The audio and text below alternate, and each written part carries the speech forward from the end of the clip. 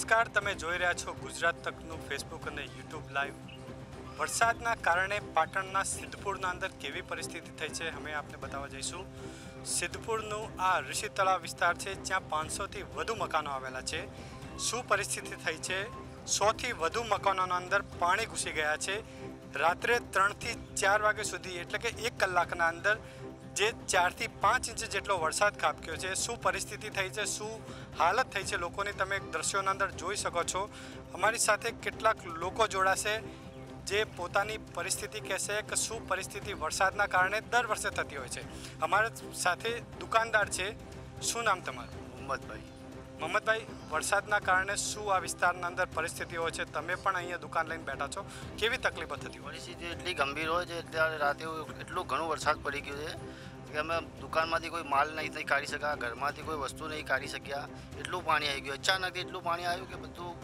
માલ સામાન બધું ખરાબ થઈ ગયું છે બિલકુલ દુકાનદારો હેરાન છે કારણ કે વરસાદનું પાણી ઘરો સહિત દુકાનોના અંદર પણ ઘૂસી ગયા છે અમે બીજા પણ દ્રશ્યો બતાવીશું આગળ જે પરિસ્થિતિ વરસાદના કારણે થઈ છે પણ જે તંત્રનું કોઈ પણ અધિકારી અહીંયા પહોંચ્યું નથી શું નામ તમારું સફીક શફીભાઈ વરસાદના કારણે પરિસ્થિતિ વધારે વિકટ થઈ છે તમારા વિસ્તારના અંદર વારંવાર પાણી ભરાતો હોય છે શું કરી રહ્યું છે પ્રશાસન કશું કરતી નહીં હર વર્ષની આ તકલીફ રહે છે એ પાણીની અંદર આવે જરાક વરસાદ પડે કે ઘરમાંથી બધા બહાર બચ્ચા રાત્રે રાત્રે આવતા રાત્રે અડધી રાત્રે રહીને નીકળી પડવું પડે છે બચ્ચાઓને કેટલા આ વિસ્તારના તો કેટલા લોકો રહે છે આ વિસ્તારમાં લગભગ સ- સાડા ત્રણસો ચારસો મકાન છે પાણીના અંદર બિલકુલ તો સાડા ત્રણસોથી ચારસો મકાનોના અંદર પાણી હશે પણ જે દોઢસોથી વધુ મકાનોના અંદર પાણી ઘૂસી ગયું છે જે લોકો પ્રભાવિત થયા છે આપ જોઈ શકો છો કે જે પ્રમાણે ઘરના અંદર પાણી ઘૂસેલું છે અમે ઘરના અંદરના પણ આપને દ્રશ્યો બતાવવા જઈશું જે પ્રમાણે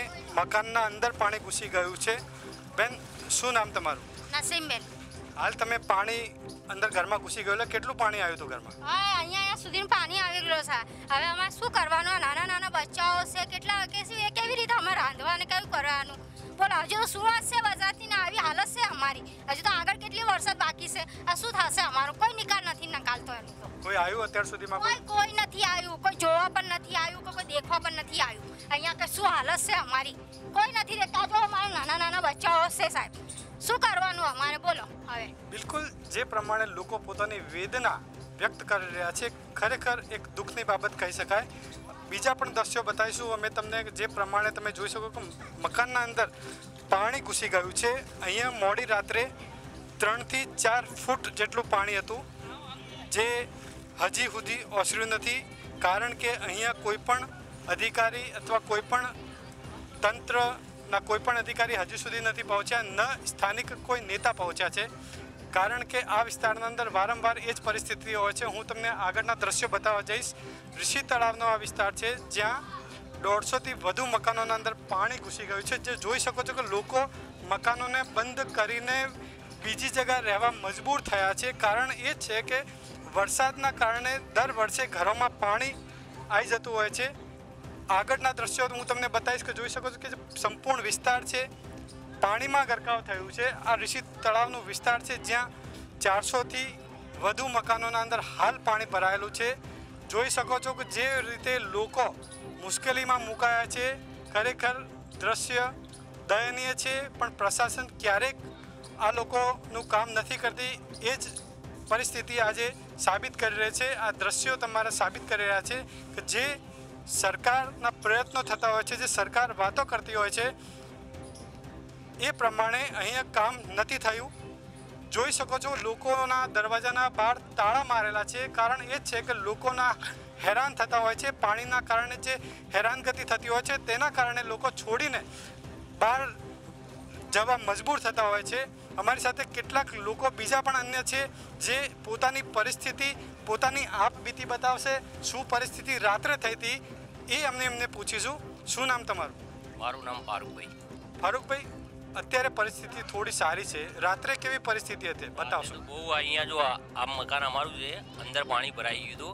આ એક્ટિવાને અમારે બધે બે જણા મળીને ઉપર ચડાવીને બધી રિક્ષા હતી. એ રિક્ષાએ બધું સાધન ડૂબી ગયા હતા.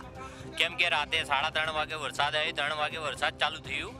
એના પછી પાણી આ પગથિયા ઉપર હતું. હાલ પાણી ઉતરી ગયું. અમારા કોર્પોરેટર ભાઈ હતા ચારે ચાર સારા છે કે મોટરો ચાલુ કરી તો પાણી ઉતરી ગયું હશે હાલ થોડું પણ આટલું સુધી પાણી હતું આ બે પગથિયા ડૂબી ગયા હતા આટલું પાણી હતું અહીંયા બિલકુલ આગળના દ્રશ્યો બીજા પણ બતાવીશું કે જે ત્રણ મકાનો આવેલા છે આધાથી વધુ મકાન અડધાથી વધુ મકાનો પાણીના અંદર છે ત્યાંના લોકો અહીંયા આવવા માટે પણ હાલ કોઈ પરિસ્થિતિ નથી દેખાઈ રહી જે પ્રમાણે ઘરોના અંદર પાણી છે સામાન છે તમામ અસ્તવ્યસ્ત થઈ ગયું છે આ વિસ્તારના લોકોને ખાવાની પણ સંપૂર્ણ તકલીફ પડી રહી છે. જે કારણે પરિસ્થિતિ છે અહીંયા કોઈ નેતા નથી આવ્યું. શું અત્યારે જમવાની શું તકલીફ પડી રહી છે? જમવા તો અમારા જે કોઓપરેટર સાહેબ છે એમને બનાવ્યું છે આપણે સ્કૂલના અંદર એડનવાલા સ્કૂલમાં. બાકી કોઈ મ્યુનિસિપાલિટીવાળો જોવા નહીં આવ્યો. બિલકુલ પ્રશાસનના અધિકારી કોઈ પણ આવ્યા નથી. હું તમને ફરી એક દ્રશ્યો બતાવીશ કે જે વિસ્તારના અંદર દોઢસોથી વધુ મકાનોમાં હાલ પણ પાણી ફેલાઈ રહ્યું છે. મારા કેમેરામેનને કહીશ કે જ્યાં નજર જાય છે, ત્યાં પાણી જ પાણી છે. દોઢસોથી વધુ મકાનો જે છે, એનાથી પ્રભાવિત થયા છે. જેના અંદર હજી સુધી પ્રશાસનની કોઈ પણ મદદ મળી મળી નથી. જેના કારણે લોકોને દર વર્ષે આની આજ હાલાકી થતી હોય છે. પણ જ્યારે સરકાર મોટી મોટી વાતો કરતી હોય છે, ત્યારે લોકોની જે સમસ્યાઓ છે ત્યાં સુધી આખરે ક્યારે પહોંચે તે સૌથી મોટો સવાલ પેદા થતો હોય છે જ્યારે છેલ્લા પચાસથી વધુ વર્ષના અંદર આ લોકો હેરાન થઈ રહ્યા છે પચાસ વર્ષથી આ લોકો જોતા આવી રહ્યા કે જે દર વર્ષે પાણી આવતું હોય છે તેના કારણે ઘર છોડીને જતું રહેવું પડતું હોય છે તેનો નિકાલ ક્યારે આવશે આખરે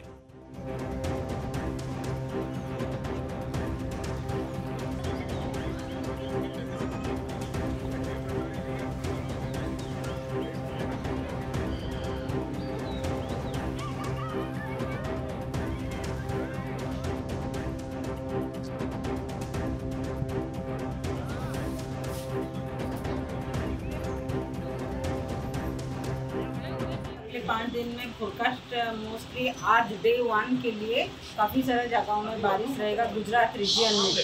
मोस्टली गुजरात रीजन में ईस्ट सेंट्रल गुजरात जो है, उसमें भारी से भारी बारिश होने का भी संभावना है।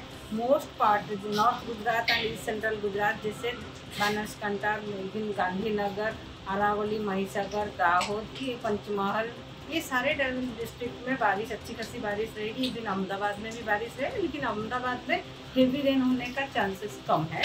एंड हेवी रेन इस दिन गांधीनगर में भी हो सकता है पाटन में भी हो सॉरी पाटन महसाना में भी हो सकता है बनासकांठा में हो सकता है। और अरावली महिसागर पंचमहल इस दिन आपका दाहोद में भी दाहोद में ही दाहोद में भी आज अच्छा बारिश मिलेगा और सारे जगहों में लाइट टू मॉडरेट रेन मिलने का संभावना है। सौराष्ट्र में आज स्कैटर्ड रेन रहेगी। मोस्टली रेनफॉल जैसे भावनगर बोटाड सुरेंद्र नगर में रहेगा। वो हेवी रेन होने का सौराष्ट्र कच्छ में चांसेस ज़्यादा नहीं है। डे टू से काफ़ी इंटेंसिटी कम हो जाएगा लेकिन आपका ईस्ट सेंट्रल गुजरात में भी बारिश मिलने का संभावना है। और डे थ्री से मोस्टली मतलब कह सकते हो कि ड्राई हो जाएगा कोई छुटक छुटक बारिश होने का संभावना है। अभी तक कितनी बारिश हुई है मैम गुजरात अभी तक जैसे लास्ट वीक में हमारा रेनफॉल डेफिशिएंट था माइनस फिफ्टी परसेंट डेफिशिएंट था पूरे स्टेट में आज अभी प्लस में है अभी एक्सेस रेनफॉल हुआ है। जून महीना में अभी जो लास्ट थ्री फोर डेज़ जो बारिश हुआ है उसमें पूरे गुजरात स्टेट में plus twenty nine percent excess है रेनफॉल एंड जैसे हमारा जो थर्टी थ्री डिस्ट्रिक्ट है हम्म। ओनली सात डिस्ट्रिक्ट में बारिश ज़्यादा नहीं हुआ है वो अभी भी डेफिशिएंट कंडीशन में है. लेकिन सात डिस्ट्रिक्ट जैसे आपका छोटा उदयपुर दाहोद डांग तापी गिर सोमनाथ पोरबंदर जूनागढ़ ये सारे में अभी भी डेफिशिएंट में चल रहा है रेनफॉल लेकिन इससे अलावा सारे डिस्ट्रिक्ट में नॉर्मल टू एक्सेस रेनफॉल हुआ है. इवन दीव में भी डेफिशिएंट रेनफॉल है अच्छा अभी कौन सी सिस्टम है मैम अभी फ़िलहाल गुजरात रीजन का ऊपर एक सर्कुलेशन है अपर लेवल में, और सर्कुलेशन वजह से आज मोस्टली गुजरात रीजन में एंटायर गुजरात रीजन देखा जाएगा तो मोस्टली रेनफॉल सब भी कंसेंट्रेट होगा नॉर्थ ईस्ट और ईस्ट सेंट्रल गुजरात में।